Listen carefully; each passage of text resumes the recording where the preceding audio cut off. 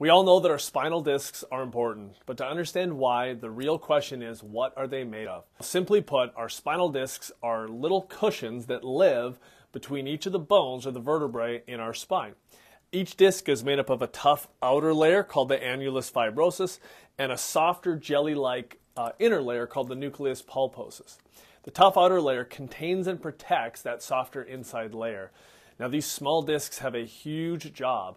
They enable our spine to move in all directions.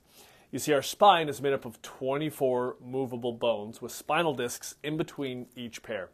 Each disc acts like a, a little swivel that allows our body to tilt and rotate and move in different directions.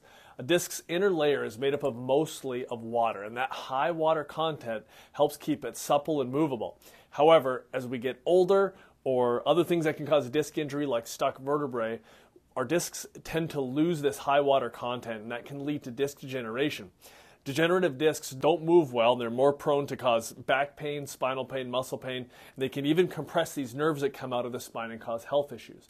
So, movement is one of the most important things that you can do to keep your spinal discs healthy. The spinal discs, especially as adults, do not get very good blood supply, and movement is how they bring in nutrients.